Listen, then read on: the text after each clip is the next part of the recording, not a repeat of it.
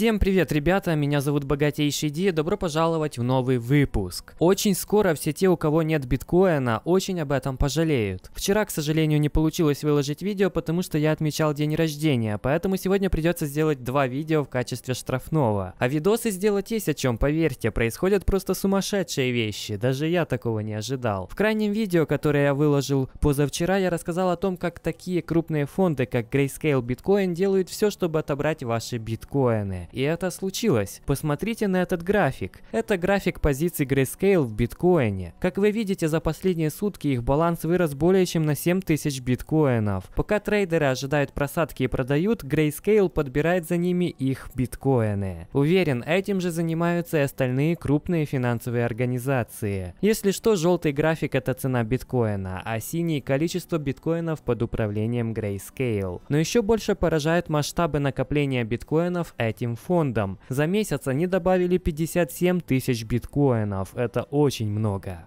Однако все это меркнет на фоне того, что произошло в Соединенных Штатах, того, что творят их сенаторы. Начнем с того, кто такая Синтия Ламис. Это американский политик, член республиканской партии. В 2020 году она была избрана на пост сенатора США от штата Вайоминг.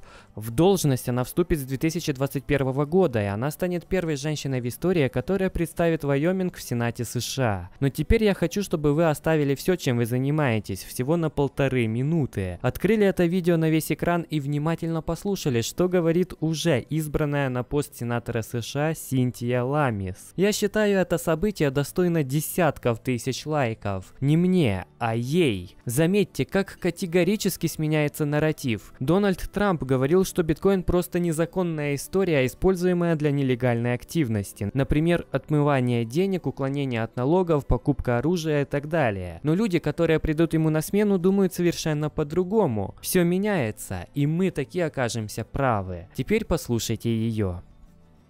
Вы были выбраны на пост сенатора, и у вас уже был некий политический опыт. Но на этот раз все интереснее. Вы первый сенатор, который владеет биткоином. Я буду полностью открыта с вами, я не очень разбираюсь в биткоине. Но я знаю некоторых людей, которые верят, что да, нужно защищать эту валюту. Но и есть те, кто говорит о том, что биткоин используют для отмывания денег или уклонения от налогов. Как вы к этому относитесь? Надеетесь ли вы вынести биткоин как вопрос национального обсуждения? Рождения.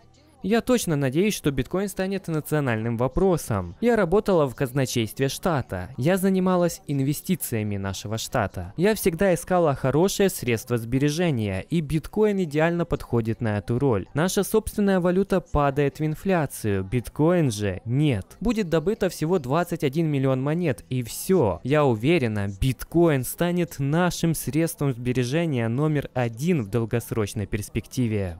Чтобы мне такое в 2018 году сказали, что сенатор США будет говорить о биткоине и долларе в таком ключе, я бы в жизни не поверил. И дело не в том, что сенатор США сказала. Дело в том, что она понимает биткоин. Все больше и больше людей начинают понимать биткоин. Это были сначала управляющие публичными компаниями, теперь уже и сенаторы. Кроме того, они начинают принимать и тот факт, что их собственная валюта, доллар США, падает в инфляцию. Я знаю, что будет дальше. Дальше страны начнут добавлять свои золото-валютные резервы биткоин. Возможно, они уже это сделали. Однако, биткоин тоже имеет свою заданную инфляцию, будем честными. Но вскоре, когда будут добыты все биткоины, он будет становиться только ценнее, особенно учитывая то, что его можно потерять. Но вместо потерянного биткоина новый никогда не напечатают. И напоследок я хочу совсем добить вас. Дани Дарита в Reddit опубликовал эту запись с канала Fox Business. Это американский бизнес-канал платного телевидения, телевидения, который доступен для почти 75 миллионов зрителей. И теперь он добавляет пару биткоин-долларов в бегущую строку котировок валют и акций. При этом он еще и на первом месте там находится. Похоже, все приближается и приближается очень быстро. Видимо, все, кто не держит биткоин в скором времени, будут очень сильно расстроены. Ведь конец игры для них уже близок. А меня зовут Богатейший Ди, ставьте лайки, если это видео вам понравилось. А также подписывайтесь на канал, телеграм, жмите колокольчик колокольчик, делитесь роликом с друзьями, комментируйте обязательно.